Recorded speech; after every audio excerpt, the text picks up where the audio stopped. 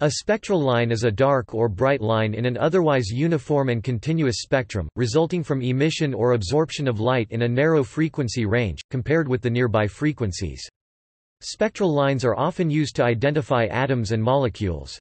These fingerprints can be compared to the previously collected fingerprints of atoms and molecules, and are thus used to identify the atomic and molecular components of stars and planets, which would otherwise be impossible. Types of line spectra Spectral lines are the result of interaction between a quantum system usually atoms, but sometimes molecules or atomic nuclei and a single photon. When a photon has about the right amount of energy to allow a change in the energy state of the system in the case of an atom this is usually an electron-changing orbitals, the photon is absorbed. Then it will be spontaneously re-emitted, either in the same frequency as the original or in a cascade, where the sum of the energies of the photons emitted will be equal to the energy of the one absorbed assuming the system returns to its original state. A spectral line may be observed either as an emission line or an absorption line. Which type of line is observed depends on the type of material and its temperature relative to another emission source. An absorption line is produced when photons from a hot, broad-spectrum source pass through a cold material. The intensity of light, over a narrow frequency range, is reduced due to absorption by the material and re-emission in random directions. By contrast, a bright emission line is produced when photons from a hot material are detected in the presence of a broad spectrum from a cold source. The intensity of light, over a narrow frequency range, is increased due to emission by the material. Spectral lines are highly atom-specific, and can be used to identify the chemical composition of any medium capable of letting light pass through it typically gas is used. Several elements were discovered by spectroscopic means, such as helium, thallium, and cesium. Spectral lines also depend on the physical conditions of the gas, so they are widely used to determine the chemical composition of stars and other celestial bodies that cannot be analyzed by other means, as well as their physical conditions. Mechanisms other than atom-photon interaction can produce spectral lines. Depending on the exact physical interaction with molecules, single particles, etc., the frequency of the involved photons will vary widely, and lines can be observed across the electromagnetic spectrum, from radio waves to gamma rays. Nomenclature Strong spectral lines in the visible part of the spectrum often have a unique Fraunhofer line designation, such as K for a line at 393.366 nanometers emerging from singly ionized Ca+, though some of the Fraunhofer lines are blends of multiple lines from several different species. In other cases the lines are designated according to the level of ionization by adding a Roman numeral to the designation of the chemical element, so that Ca also has the designation Ca2. Neutral atoms are denoted with the Roman number I, singly ionized atoms with 2, and so on, so that for example Fe Roman 9 represents 8 times ionized iron. More detailed designations usually include the line wavelength and may include a multiplet number for atomic lines or band designation for molecular lines. Many spectral lines of atomic hydrogen also have designations within their respective series, such as the Lyman series or Balmer series. Originally all spectral lines were classified into series of principal series, Sharp series, and diffuse series. These series exist across atoms of all elements and the Rydberg-Ritz combination principle is a formula that predicts the pattern of lines to be found in all atoms of the elements. For this reason, the NIST spectral line database contains a column for Ritz calculated lines. These series were later associated with suborbitals. Line broadening and shift A spectral line extends over a range of frequencies, not a single frequency i.e., it has a non-zero linewidth. In addition, its center may be shifted from its nominal central wavelength. There are several reasons for this broadening and shift. These reasons may be divided into two general categories, broadening due to local conditions and broadening due to extended conditions. Broadening due to local conditions is due to effects which hold in a small region around the emitting element, usually small enough to assure local thermodynamic equilibrium.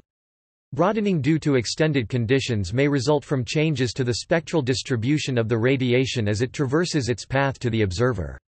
It also may result from the combining of radiation from a number of regions which are far from each other. Broadening due to local effects Natural broadening the uncertainty principle relates the lifetime of an excited state due to spontaneous radiative decay or the Auger process with the uncertainty of its energy. A short lifetime will have a large energy uncertainty and a broad emission. This broadening effect results in an unshifted Lorentzian profile. The natural broadening can be experimentally altered only to the extent that decay rates can be artificially suppressed or enhanced. Thermal Doppler broadening the atoms in a gas which are emitting radiation will have a distribution of velocities. Each photon emitted will be red or blue, shifted by the Doppler effect depending on the velocity of the atom relative to the observer. The higher the temperature of the gas, the wider the distribution of velocities in the gas. Since the spectral line is a combination of all of the emitted radiation, the higher the temperature of the gas, the broader the spectral line emitted from that gas. This broadening effect is described by a Gaussian profile and there is no associated shift. Pressure broadening The presence of nearby particles will affect the radiation emitted by an individual particle. There are two limiting cases by which this occurs Impact pressure broadening or collisional broadening, the collision of other particles with the emitting particle interrupts the emission process, and by shortening the characteristic time for the process, increases the uncertainty in the energy emitted as occurs in natural broadening. The duration of the collision is much shorter than the lifetime of the emission process. This effect depends on both the density and the temperature of the gas.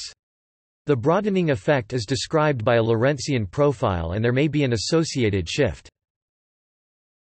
Quasi-static pressure broadening, the presence of other particles shifts the energy levels in the emitting particle, thereby altering the frequency of the emitted radiation. The duration of the influence is much longer than the lifetime of the emission process. This effect depends on the density of the gas, but is rather insensitive to temperature. The form of the line profile is determined by the functional form of the perturbing force with respect to distance from the perturbing particle. There may also be a shift in the line center.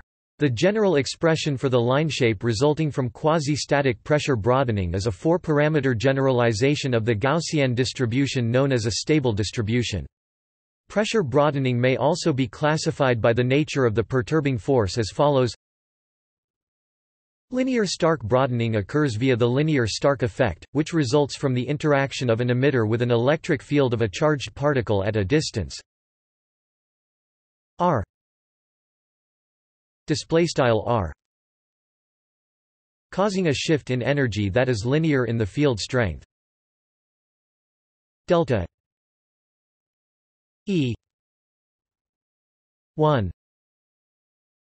r 2 display style delta e sim 1 r caret 2 Resonance broadening occurs when the perturbing particle is of the same type as the emitting particle, which introduces the possibility of an energy exchange process. Delta E 1 R 3 display style delta E sim 1 R caret 3 Quadratic Stark broadening occurs via the quadratic Stark effect, which results from the interaction of an emitter with an electric field, causing a shift in energy that is quadratic in the field strength. Delta E 1 R 4 display style delta E sim 1 R caret 4 Van der Waals broadening occurs when the emitting particle is being perturbed by van der Waals forces. For the quasi-static case, a van der Waals profile is often useful in describing the profile. The energy shift as a function of distance is given in the wings by e.g. the Lennard-Jones potential. Delta E 1 R 6 display style delta e sim 1 r caret 6 inhomogeneous broadening Inhomogeneous broadening is a general term for broadening because some emitting particles are in a different local environment from others, and therefore emit at a different frequency. This term is used especially for solids, where surfaces, grain boundaries, and stoichiometry variations can create a variety of local environments for a given atom to occupy. In liquids, the effects of inhomogeneous broadening is sometimes reduced by a process called motional narrowing. Broadening due to non-local effects Certain types of broadening are the result of conditions over a large region of space rather than simply upon conditions that are local to the emitting particle. Opacity broadening Electromagnetic radiation emitted at a particular point in space can be reabsorbed as it travels through space. This absorption depends on wavelength. The line is broadened because the photons at the line center have a greater reabsorption probability than the photons at the line wings. Indeed, the reabsorption near the line center may be so great as to cause a self-reversal in which the intensity at the center of the line is less than in the wings. This process is also sometimes called self-absorption. Macroscopic Doppler broadening Radiation emitted by a moving source is subject to Doppler shift due to a finite line of sight velocity projection. If different parts of the emitting body have different velocities along the line of sight, the resulting line will be broadened, with the line width proportional to the width of the velocity distribution. For example, radiation emitted from a distant rotating body, such as a star, will be broadened due to the line of sight variations in velocity on opposite sides of the star. The greater the rate of rotation, the broader the line. Another example is an imploding plasma shell in a Z-pinch. Radiative broadening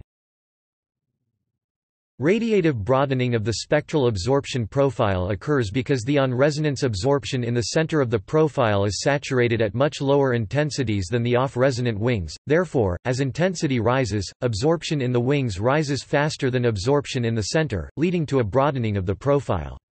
Radiative broadening occurs even at very low light intensities. Combined effects